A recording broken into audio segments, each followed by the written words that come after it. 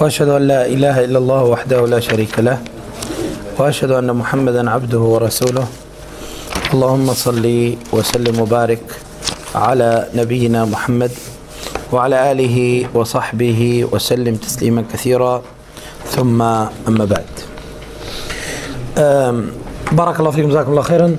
Die Themen, die wir voriges Mal äh, äh, erklärt haben, das war erstmal, äh, was? Dann haben wir das zweite Thema, das war Barakallahu fikum, Jazakumullah khairan. Äh, die Hauptpfeiler oder Hauptsäulen der Religion. Drittens, ähm, warum der Islam die Wahrheit ist.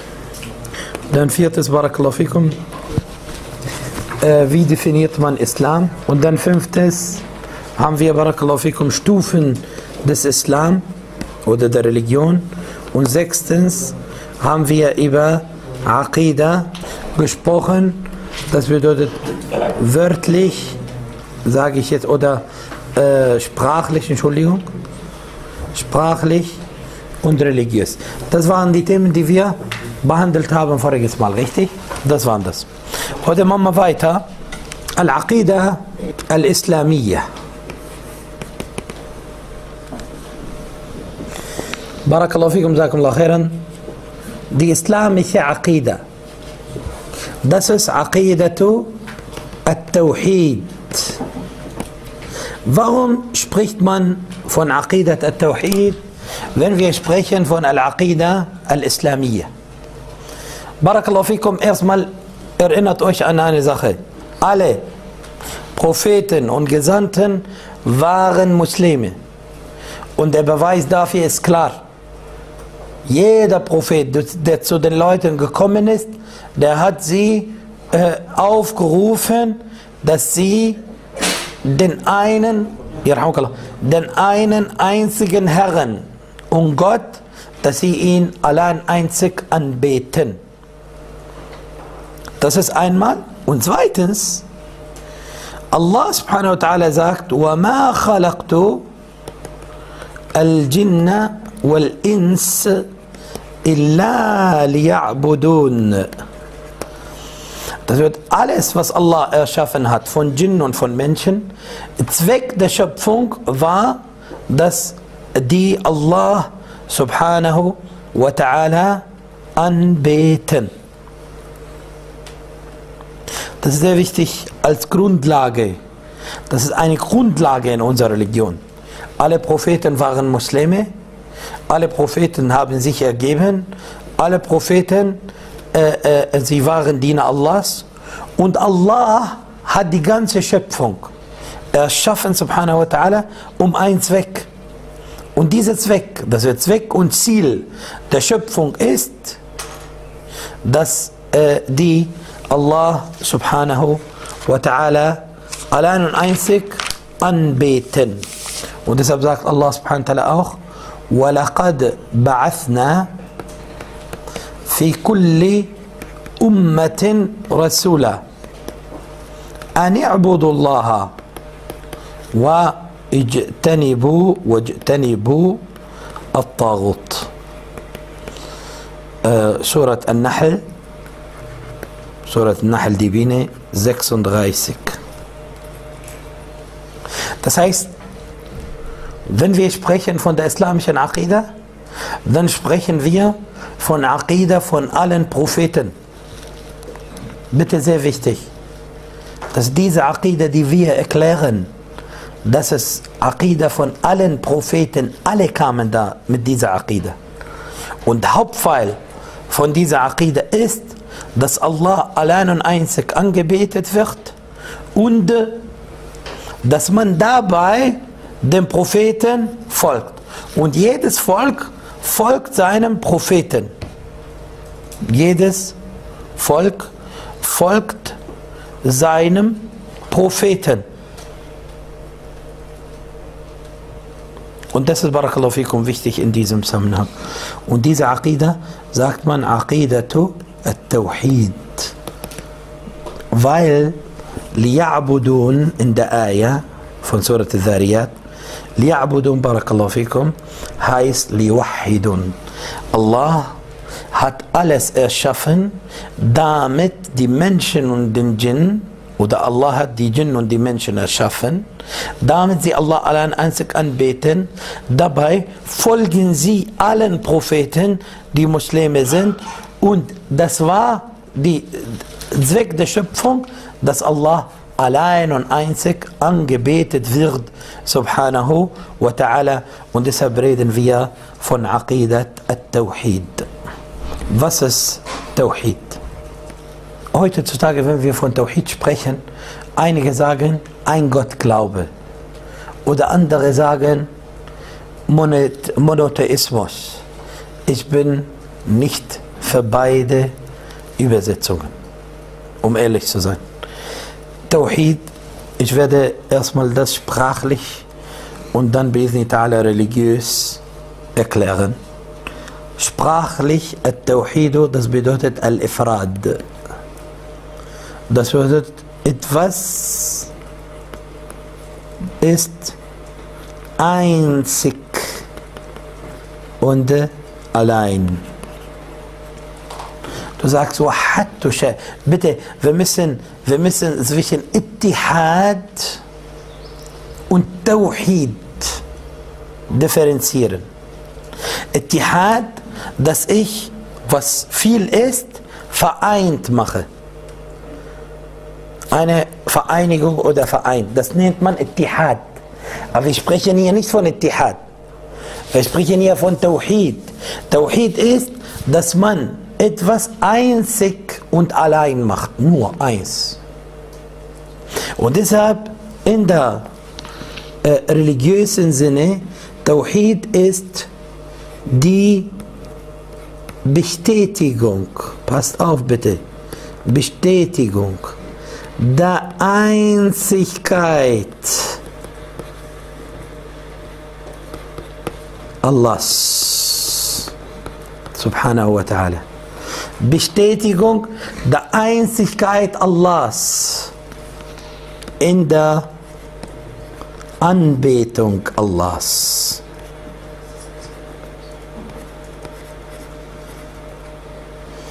Gottheit und Herrschaft Allahs und Einzigkeit Allah in seinen Namen und Attributen. Das ist Tawhid. Schön wurde von Ibn al-Qayyim erzählt, als er gesagt hat, التوحيد das ist طلب وقصد ومعرفة وإثبات sehr schön طلب وقصد معرفة وإثبات. توحيد طلب وقصد ومعرفة وإثبات. طلب بدودة فالانغن ودا بتن. قصد بأبسيشتغن.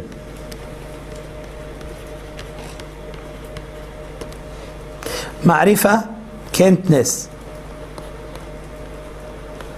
Ithbat Bestätigung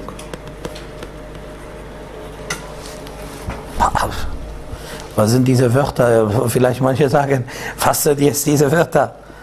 Ja, das ist die gleiche Definition. Genau die gleiche Definition. Schau mal, wir haben gesagt, die Einzigkeit Allahs in der Anbetung. Was ist Anbetung? Du bittest Allah und du beabsichtigst Allah subhanahu wa ta'ala in deiner Anbetung. Entweder sagst du, ja Allah, du machst mit Gebet, oder du praktizierst etwas und du beabsichtigst dabei Allah subhanahu wa ta'ala.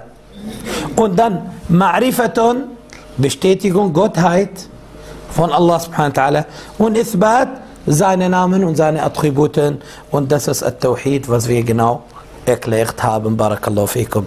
Das bedeutet mit anderen Wörtern, wenn wir Tawhid erklären wollen, At-Tawhid sind Drei. Anbetung. Das ist Al-Ibadah. Gottheit und Herrschaft. Das ist Rububiyah. Und äh, dann Namen und Attribute. Das nennt man Tawhidu al-Asma'i wa al-Sifat. Das Ganze zu bestätigen für Allah, dass Allah allein und einzig ist. Das macht Al-Tawhid und deshalb der Islam ist Tawhid. Das heißt, es ist nicht genug im Islam, dass man sagt, es gibt Gott. Oder der Gott ist ein Gott. Das ist nicht genug in unserer Religion. Nicht genug. Und bitte sehr aufpassen hier. Weil Allah subhanahu wa ta'ala im Koran das erwähnt hat. Allah subhanahu wa ta'ala sagt, und wenn du diese Leute fragst, wer hat die Himmel und die Erden und alles erschaffen, sie werden sagen, Allah. Wenn du ihnen sagst, wem gehört alles, dann sagen sie Allah. Wenn du sie fragst, wer hat euch erschaffen, dann sagen sie Allah. Subhanallah. Die Leute von Mekka, die Leute von Mekka, die gegen den Propheten gekämpft haben und ihn töten wollten und so weiter, sie haben bestätigt, dass Allah der einzige Gott ist. Mit Gott meine ich Rabb oder Herrscher ist. Sie haben das bestätigt. Aber das ist nicht unser Problem mit ihnen. Unser Problem ist, das ist die Frage, beten sie Allah allein und einzig an? Das war die Frage, die sehr wichtig ist. Die Leute von Mekka haben Allah nicht allein und einzig angebetet, sondern die haben Vermittler genommen und die waren die Götzen. Deshalb der Islam akzeptiert keine Anbetung außer für Allah. Außer für Allah. Und da kommen wir zu diesen drei Kategorien, die wir in Tawhid haben. Und zwar, Barakallahu fikum, Tawhidu al-Ibadah, Tawhidu al-Rububiyyah, توحيد الأسماء والصفات Das bedeutet die Einzigkeit Allah in der Anbetung, Einzigkeit Allah in Gottheit und Herrschaft, Einzigkeit Allah subhanahu bei seinen Namen und Attributen. Das ist Barakallahu fikum wa jazakum Allah khairan. Das ist, was wir heute auch ein bisschen sozusagen erklären, weil unsere Aqidah ist Aqidat al-Tawhid. Und dann reden wir über Aqidat Ahlus Sunnati wal Jama'a und warum diese Aqide die richtige ist. Erstmal unter Religionen, warum der Islam die Wahrheit ist und warum diese Aqide die richtigste ist. Und dann, Barakallahu fikum, unter den verschiedenen Gruppierungen, warum Aqidat Ahlus Sunnah wal Jama'a die richtige ist. Und dann reden wir über die Grundlagen von Aqidat Ahlus Sunnah wal Jama'a zu bestimmten Themen. Äh, was ist Barakallahu fikum wa jazakum Allah khairan. Ich fange erstmal mit Tawhid Ar-Rububiyah.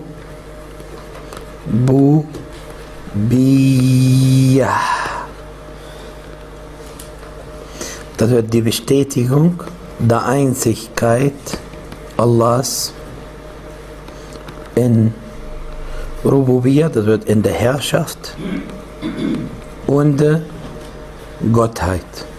Auf, Barakallahu fikum, Jazakallahu khairan. Wenn wir sagen, die Einzigkeit Allah subhanahu wa ta'ala, es gibt einen einzigen Gott, einen einzigen Herrscher, einen einzigen Machthaber, einen einzigen, der über alles verfügt, subhanahu wa ta'ala. Und das ist Allah, subhanahu wa ta'ala. Ihm gehört die Schöpfung und der Befehl. Und damit du verstehst, was Tawhid al-Rububiyya bedeutet, da gebe ich dir einen Tipp. Bitte lerne das. Al-Rububiyya bedeutet die Bestätigung der Einzigkeit, pass auf jetzt, Allahs in seinen Taten, die gerichtet, gerichtet sind man, äh, an die Geschöpfe oder an die Schöpfung. Wenn du das verstehst, dann Alhamdulillah Rabbil Alamin. Da brauchen wir nicht viel zu reden. Seine Handlungen, seine Taten, die an uns, an die Schöpfung gerichtet sind, das bedeutet, die Handlungen Allahs subhanahu wa ta'ala. Was bedeutet, wenn wir sagen Handlungs Allah oder Taten Allahs? Das bedeutet, du kannst nicht. Die Schöpfe können das nicht schaffen. Und die machen das nicht, das nur bei Allah subhanahu wa ta'ala. Beispiel, Schöpfung. Kann jemand außer Allah subhanahu wa ta'ala etwas erschaffen? Hm? Kann jemand außer Allah subhanahu wa ta'ala etwas erschaffen? Doch. Nicht schnell. Doch. Allah subhanahu wa ta'ala sagt, فَتَبَارَكَ اللَّهُ أَحْسَنُ Al-Khaliqin, das Plural gesagt. Segenreich ist Allah, der Beste unter den Schöpfern. Das hat die Schöpfen. Deshalb, Barakallahu fikum, hier aufpassen. Es gibt zwei Arten von Schöpfung. Eine Schöpfung, die prinzipiell ist von nichts und das wurde sozusagen erschaffen.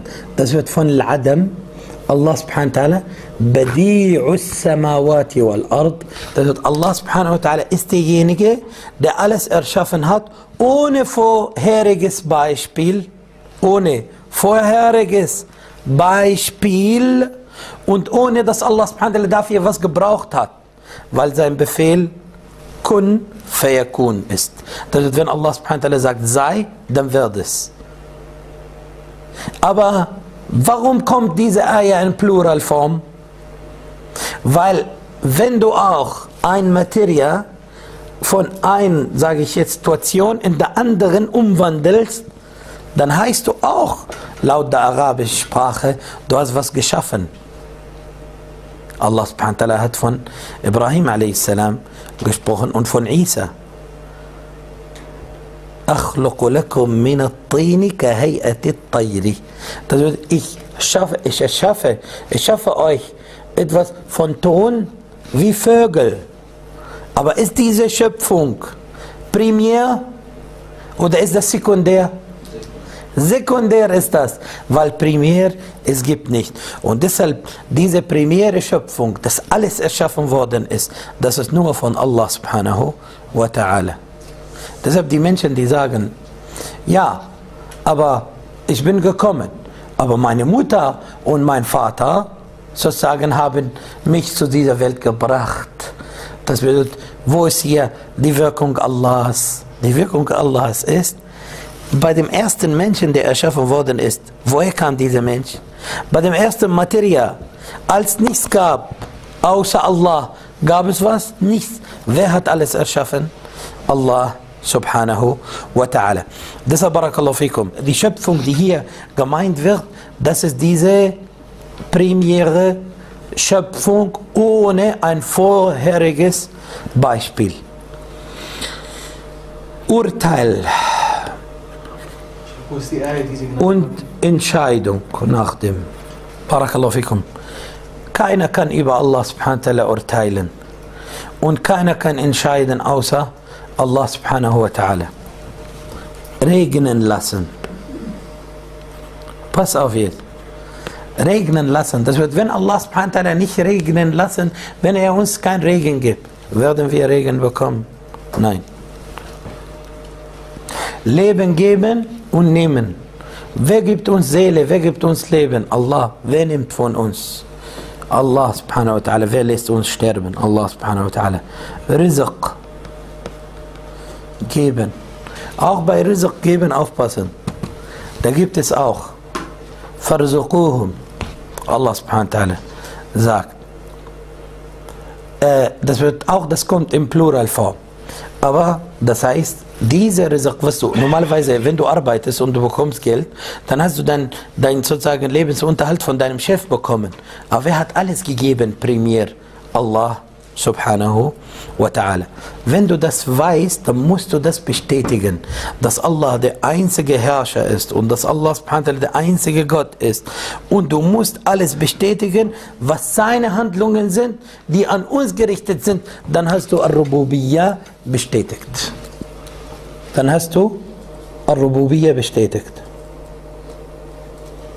Das heißt, du musst unterscheiden zwischen Allahs, Allah, seine Handlungen an uns dient diesmal Rububiyya.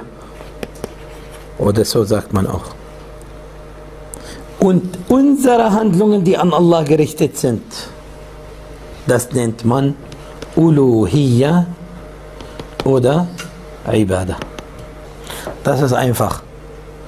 Allah mit unseren Taten, Allah zu bestätigen mit unseren Taten, heißt Uluhiyya, Ibadah. Seine Taten, die an uns gerichtet sind, zu bestätigen, das heißt Rububiyya. Und wir reden über Tawhid und das ist Aqidat al-Islam. Das ist das Erste. Das Zweite, Al-Uda, Uda, Ibadah. Uda, Au. Dann Barakallahu fikum, Jazakumullah khairan. Äh, was bedeutet hier, al, oder sagt man auch Al-Ubudiyya? Das bedeutet, das zweite ist das zweite, was wir gesagt haben, Bestätigung Allah subhanahu wa ta'ala in der Anbetung Allah subhanahu wa ta'ala. Die Bestätigung der Einzigkeit Allah subhanahu wa ta'ala in der Anbetung Allahs, Gottheit und Herrschaft Allahs und Einzigkeit Allah subhanahu wa ta'ala in seinen Namen und Attributen, Talaban wa Qasdan wa Ma'rifatan wa Ithbat. Und wir haben gesagt, Tawhid ist, dass erstmal die Gottheit bestätigt, dann die Anbetung. Und jetzt, was bedeutet die Anbetung? Die Anbetung mit klaren Wörtern und wenigen Wörtern. Bi af'alina. Das ist die Bestätigung der Einzigkeit Allah subhanahu wa ta'ala mit unseren Handlungen, die an Allah subhanahu wa ta'ala gerichtet werden. Al-Ubudiyya kommt von Al-Ibadah. Und pass auf bitte. Wir nennen das Al-Ubudiyya oder Al-Uluhiyya. Schau mal. Al-Ubudiyya und Al-Uluhiyya, die sind die gleichen Bedeutung und das gleiche, die gleiche Bedeutung. Aber wo ist das, warum gibt es zwei Wörter? Wenn du das bezüglich dem Diener machst, Diener, dann sagst du das Ubudiyya. Und wenn du bezüglich Allah, sage ich bezeichnet, dann sagst du Uluhiyya. Aber beide haben den gleichen Sinn und das heißt Bestätigung der Einzigkeit, Einzigkeit Allahs in unseren, als Diener jetzt, in unseren Taten oder besser gesagt Handlungen, Af'aluna. Und Al-Ibadah ist bekannt. Barakallahu fikum. Habt ihr verstanden, was das bedeutet? Habt ihr verstanden? Die Sache, dass, dass man sagt, es gibt zwei Wörter. Wenn du ein Wort zugehörig, Allah zugehörig machst, heißt Uluhiyya. Das heißt, du machst das mit Allah. Wenn das mit uns Diener ist, du sagst Ubudiyya, weil wir Diener Allahs sind. Aber was ist Uluhiyya und Ubudiyya? Uluhiyya und Ubudiyya hat den gleichen Sinn. Dass wir Allah subhanahu ta'ala seine Einzigkeit bestätigen in unseren Taten. Und deshalb Al-Ibada, was bedeutet Al-Ibada? Barakallahu fikum, Al-Ibada, sprachlich, sprachlich, das bedeutet äh, At-Tazallulu wal-Khudu' Al-Khudu' das ist die Ergebung, die Unterwerfung. At-Tazallul, dass du unter seinem die Hingabe und die Unterwerfung und die Ergebung hast. Und deshalb man sagt, Ebenen. Da sagt man dass ich habe diesen Weg so geebnet, so dienstbar gemacht, dass wir drauf fahren dürfen oder gehen dürfen. In der Religion, Al-Ibadah, manche sagen Al-Ta'a, Gehorsamkeit, manche aber beste, beste sage ich jetzt, äh, Definition von Ibada, ist von Sheikh al-Islam. Er sagte, Ismun Jami'un, likulli ma yuhibbuhu الله ويرضاه من الأقوال والأفعال الظاهرة والباطنة Das ist eine schöne Definition, da kann man das ruhig nehmen, weil das sehr schön ist. Der sagte, das ist ein allgemein Begriff für alles, was Allah liebt und Allah zufriedenstellt. Das, heißt, das was du praktizierst, Allah subhanahu wird damit zufrieden. Von Wörtern oder Worten und Handlungen innerlich und äußerlich. Innerlich und äußerlich. Diese Definitionen, die sollen bei euch sein, wie Wasser trinken. Kennst du Wasser, wenn du Wasser trinkst? Das, das sollst du so lernen, diese Definitionen, was wir hier durchnehmen. Das, was bedeutet Tawhid, was bedeutet Ibadah, was bedeutet Islam, was bedeutet Iman. Das das soll für dich sozusagen etwas selbstverständlich sein. Aufpassen.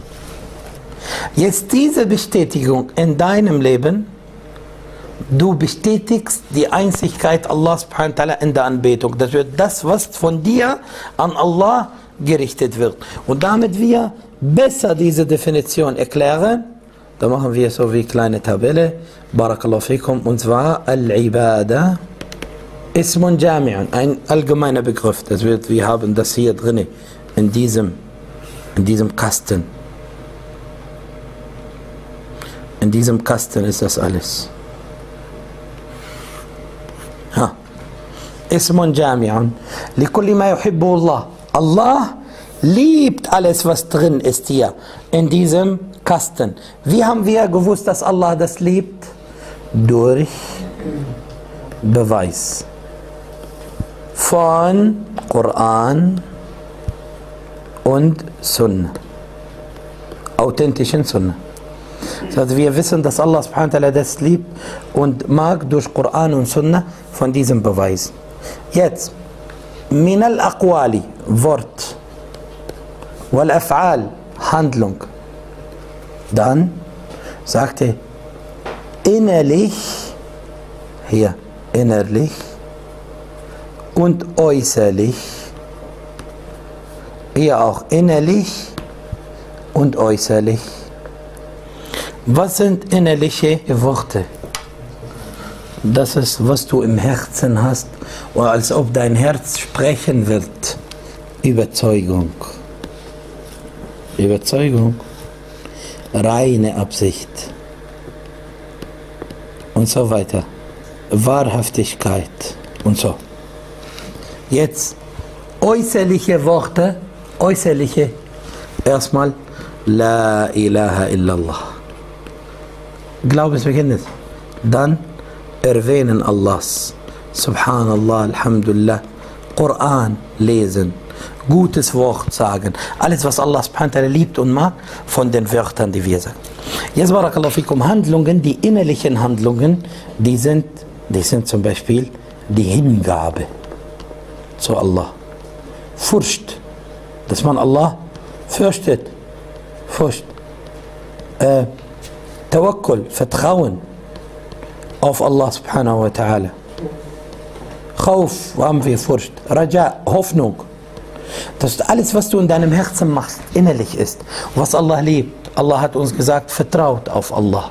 Allah hat gesagt, verliert nicht die Hoffnung. Allah subhanahu wa ta'ala sagt, kehrt zu Allah subhanahu wa ta'ala reumütig und so weiter. Die äußerlichen Handlungen, das wird innerlich, das wird Herz. Wort Herz. Äußerlich, das wird Zunge. Äußerlich hier Körper. Körper, Handlungen und so weiter. Und zwar Barakallahu fik, Gebet, äh, Tawaf, Tawaf, bekannter, um Al-Kaaba, sieben Runden zu machen. Das ist alles, was du mit deinem Körper machst. Zakah, Fasten, Hajj, alles, alles, alles, was dazu gehört. Das ist Al-Ibadah. Wenn du diese bestätigst, dann hast du, Barakallahu fiqh, wa jazakallah khairan, auch diesen Teil von Tawhid bestätigt. Dann bleibt, dann bleibt das dritte, und zwar Bestätigung. Habt ihr verstanden erstmal? Oder ist klar? Was, Allah, was die, die Handlungen Allah, Taten Allah, die an uns gerichtet sind, und wir bestätigen das, das ist Rububiyya. Und das haben die Leute von Mekka gehabt. Und fast jeder hat das. Aber das Problem ist, diese andere, dass wir unsere Worte, Handlungen innerlich, äußerlich an Allah richten. Und das ist Al-Ibadah oder Al-Uluhiyya. Wir haben gesagt, das Wort zugehörig Allah, Uluhiyya. Zugehörig Menschen, Ubudiyya. Jetzt, das dritte ist, wir haben gesagt, Bestätigung der Einzigkeit, Einzigkeit Allah im Namen oder in Namen, seinen Namen und Attributen. Das wird mit anderen Wort Attributen, hier sagen wir Eigenschaften, okay? Da können die Leute besser verstehen. Immer versuchen bitte, Sachen simpel zu machen. Immer leicht, leicht, damit die Leute verstehen. Was bedeutet, dass wir Allah bestätigen in seinen Namen und Attributen? Leicht, sehr leicht. Ich meine, manche Leute machen sich, machen sich die Sache, sage ich jetzt groß und der sagt Zweifel und so. Einfach. Allah ist Allah und die Schöpfung ist die Schöpfung. Und Allah und die Schöpfung darf man nicht vergleichen. Allah hat seinen Namen, seine Attribute. Und die Schöpfe, die Schöpfe haben Namen und Attribute. Wir bestätigen Allah diese Namen und diese Attribute, ohne dass wir vergleichen, ohne dass wir verkörpern, ohne dass wir vermenschlichen, ohne dass wir verfälschen, ohne dass wir äh, metaphorisch das erklären oder interpretieren. So wie Allah subhanahu das gesagt hat. Wir bestätigen den Sinn und die Bedeutung. Ja? Wenn man uns sagt, wie, Allahu alam, wie, das weiß nur Allah subhanahu wa. Aber wenn wir einen Namen oder ein Attribut Allah subhanahu in ein Ayah oder ein Hadith haben, dann auch bestätigen wir die Bedeutung der Ayah und der Hadith, auch wenn der Name Allah oder Attribut drin ist. Fertig. Das alles. Es gibt Leute, die philosophieren und die brauchen, du brauchst gar nicht. Nochmal. Drei Punkte. Eins, zwei, drei. Das sind drei Punkte. Leicht. Und da gibt es hier natürlich, wir können weiter erklären, aber, aber, aber jetzt erstmal so. Bestätigung, pass auf, Bestätigung der Bedeutung und Sinn des Namen oder Attributes, ja, mit Tensih. Tensih bedeutet Vollkommenheit. Das wird, wir bestätigen Allah seinen Namen, seine Attribute mit Vollkommenheit. Es gibt keinen Makel, keinen Mangel. Zweitens, wie diese Frage überlassen wir Allahs subhanahu wa ta'ala. Wir überlassen das Allah. Wir wissen nicht. Allah hat uns nicht erzählt. Drittens kommt ein Name oder Eigenschaft in Ayah oder Hadith bestätigen wir die Bedeutung der gesamten Ayah oder Hadith. Dann Allah hat unendlich Namen und unendlich Eigenschaften. Nur er, subhanahu wa ta'ala, weiß es. Ohne Interpretation, Verfälschung, Vermenschlichung, Verkörperung. Das wird mit anderen Worten ohne unseren Verstand darin zu stecken. Fertig. Allah ist Allah. Menschen sind Menschen. Wir können nicht vergleichen, nicht verkörpern. Beispiel. Allah subhanahu wa ta'ala sagt, Yadullahi fawqa aydihim. Die Hand Allah subhanahu wa ta'ala ist über ihren Händen. Was bedeutet das? Allah spricht selber, dass er eine Hand hat. So sagen die Hand Allah ist über ihren Händen. Wir sagen, Allah hat Hand. Wir bestätigen, dass Allah Hand hat. Erst. Zweitens. Wie könnt ihr sagen, Allah hat Hand? Allahu alam. Das weiß nur Allah subhanahu wa ta'ala. Wie ist diese Hand? Das weiß nur Allah. Der hat uns nicht erklärt. Drittens. Pass auf. Was bedeutet die Eier? Was bedeutet die Eier? Allahs Hand ist über ihren Händen. Das wird Allah unterstützt diese Leute, Allah hilft ihnen, Allah gibt ihnen den Sieg. Das ist die Bedeutung. Was haben manche gemacht, die Armen? Die haben dieses Yad mit der dritten erklärt und die haben die Gesamtheit, Bedeutung der Ayah so gemacht, indem sie das reduziert haben auf die Bedeutung von dem. Und damit ihr nur versteht, ich gebe euch ein Beispiel. Manche sagen, oh, du sagst, Allah hat Hand. Ja, aber das ist seine Hand, seine Eigenschaft. Ich vergleiche Allah nicht mit mir. Und ich vergleiche Allah nicht mit Geschöpfen. Ich habe Hand, ja, und Allah hat Hand. Aber seine Hand ist seine Eigenschaft und meine Hand ist meine Eigenschaft. Deshalb, da brauche ich nicht zu vergleichen. Beispiel, du bist lebendig, richtig?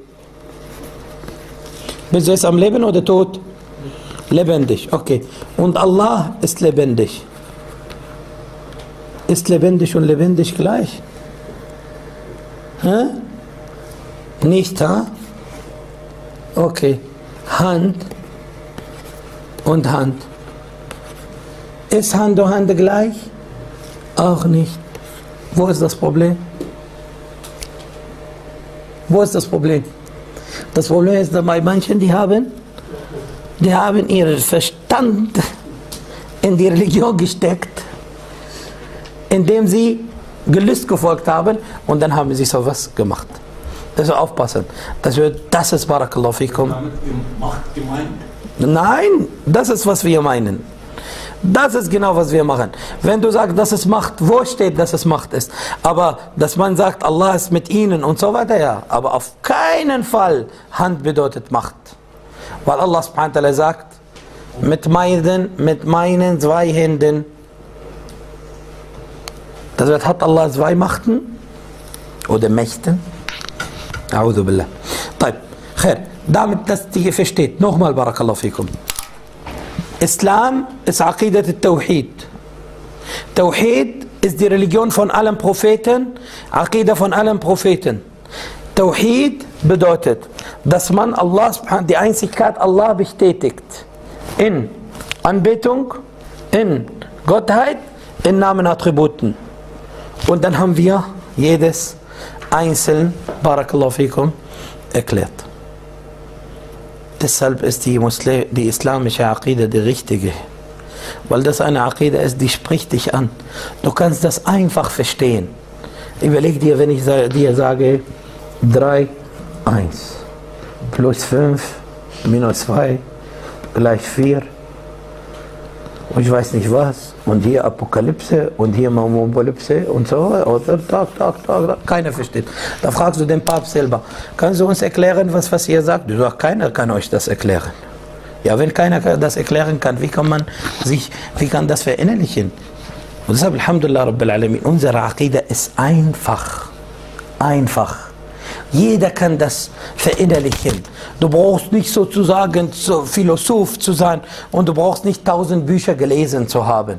Du kannst nur das verstehen. Die Grundlage und dann, Alhamdulillah, bist du auf dem richtigen Weg. Und deshalb, das ist die Macht, Subhanallah, im Islam. Dass unsere Religion einfach ist, leicht ist und jeder kann, wenn man, wenn man sich nur damit befasst ein bisschen, dann wird man ruhig sein und im Herzen auch ruhig sein. Barakallahu fikum, Sakum khairan. Möge Allah subhanahu wa ta'ala von mir und von euch annehmen. Walhamdulillahi Rabbil Alamin. Sallallahu ala nabina Muhammad wa ala alihi wa sahbihi wa sallam taslima kathira. Subhanakallahu wa bihamdik. Ashhadu an la ilaha anta astaghfiruka wa atubu.